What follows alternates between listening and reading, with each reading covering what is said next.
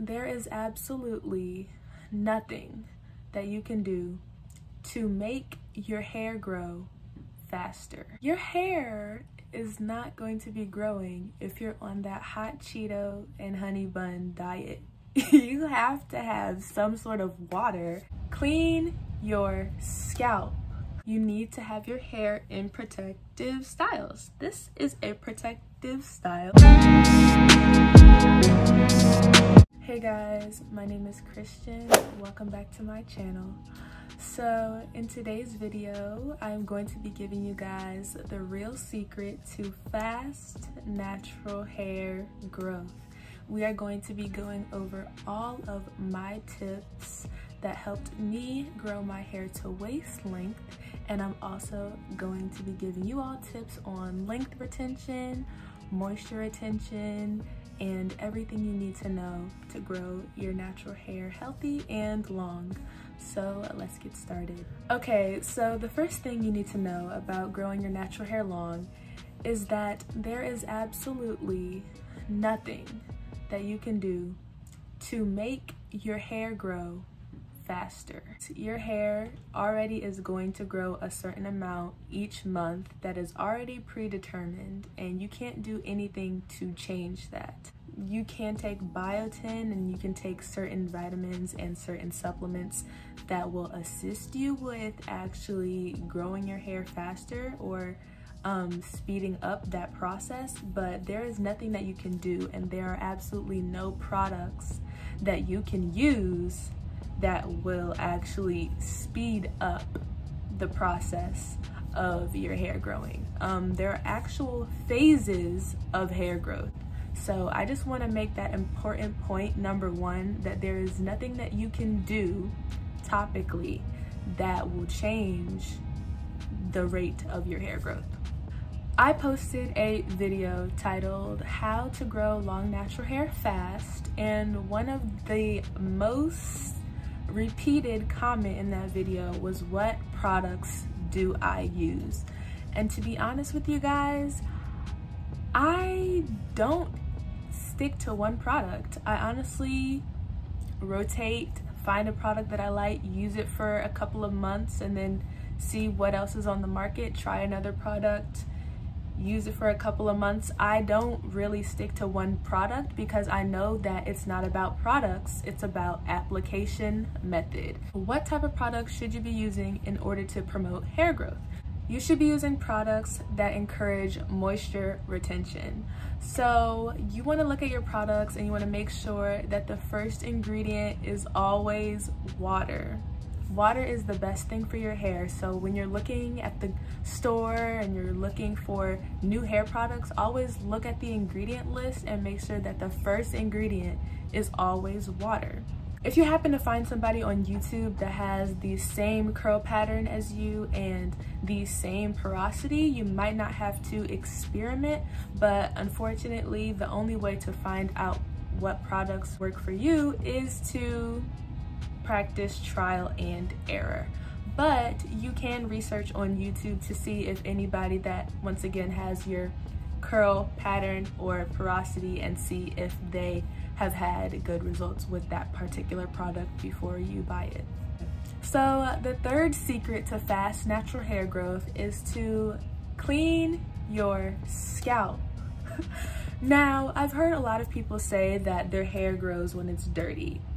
Now, since we've already discussed the fact that there's nothing that you can do topically that will influence what's going on on the inside, your hair follicles, that is not true. Your hair is going to grow as long as you're healthy and you don't have any health conditions that are preventing your hair from growing, your hair is going to grow.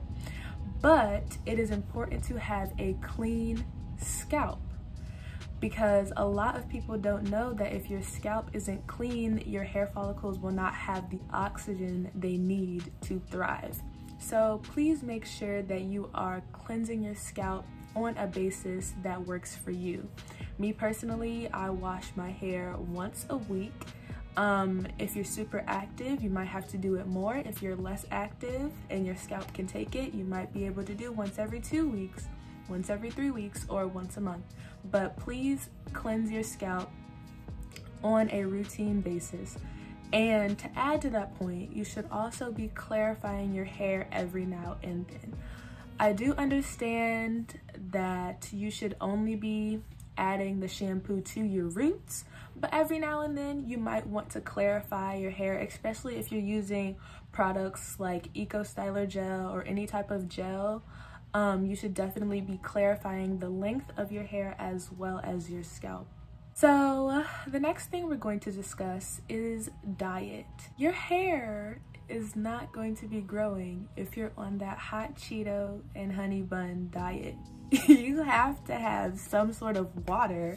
You have to have some sort of vegetables. You just avoid processed foods as much as possible.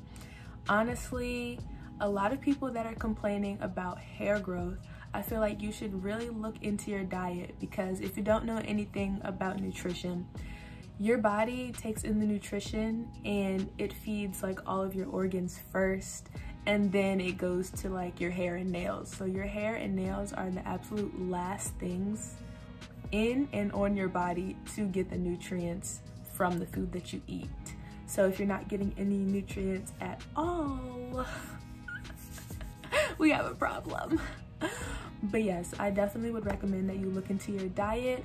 Like I said in the first point, take supplements, take vitamins if you need to, but please evaluate your diet and make sure you're drinking enough water so that you can see the growth in addition to taking care of your hair. Okay, so the next thing that we're going to discuss is breakage. So you hear a lot about a lot of women being stuck at shoulder length. Breakage can happen when you have in protective styles that are damaging, if you're trying to do your hair when you're in a rush, if you're not styling your hair when it's in section, all of these things can lead to breakage. So in order to avoid breakage, you should be washing your hair in sections. You should be getting protective styles that actually benefit your hair and don't break it off. And you should just overall be babying your ends, putting lots of oil on your ends. We're gonna talk about trims later, so I won't say get trims, but in order to avoid breakage, the number one thing that you can do to grow your hair is to keep your hair off of your clothes. So this means if your hair is shoulder length or longer, you need to have your hair in protective styles. This is a protective style. My hair is definitely off of my shoulders. It's not touching my shoulders. My ends are protected. These are the types of things that you want to be doing if you want to avoid breakage. So the next tip is to deep condition frequently. I personally deep condition once a week every Sunday and I even have a whole segment on my channel where I deep condition and chat with you all. So go check some of those videos out. But deep conditioning has honestly changed my hair so much I've noticed a difference in elasticity. I've noticed a difference with length retention. I've noticed a difference with curl definition. I've noticed a difference with the shine of my hair. I've noticed a difference in the way that my hair takes products. So start deep conditioning more frequently and come let me know how your hair is doing. So the next thing that we're going to discuss is protein treatments.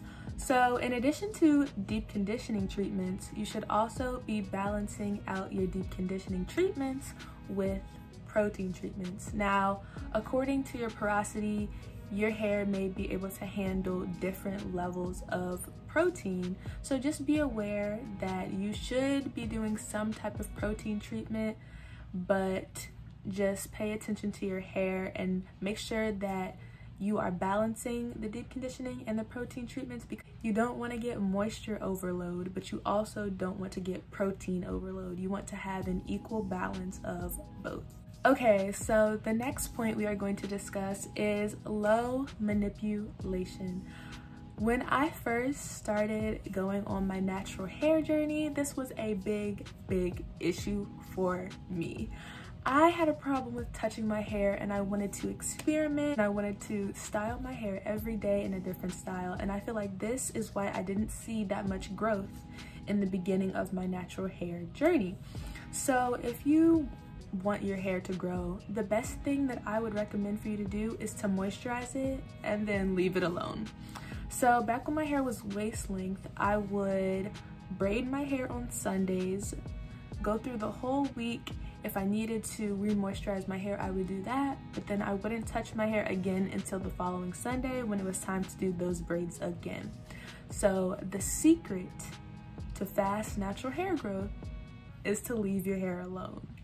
So the next thing we're going to discuss is patience. I've said this in multiple videos, but I used to be that person that was in the mirror with a ruler just attempting to measure my hair and see if my hair grew an inch from yesterday, which is so unrealistic. So don't get caught up in how your hair is looking or how long it is in the moment. Just know that if you are doing all of these tips, your hair will be growing. The next thing we are going to discuss is creating your own natural hair routine. A lot of people try to ask questions about what I use and what I use may not work for you. Unfortunately, it took me a couple of years to get to this routine and now that I have my routine, I just stick to it and I know that it works for me.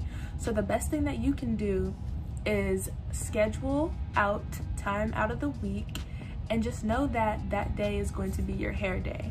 And don't try to follow anybody else's routine, just stick to yours.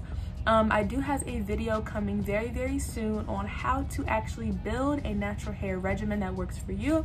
So let me know if you are looking forward to that video so I can get it out quickly. Um, if you're still watching this video and you feel like you gained something helpful from this video, please comment a red heart so I know to do more videos like this. Thank you so much for watching and I'll see you guys in the next one. Bye. Dummies, subscribe. Thank you.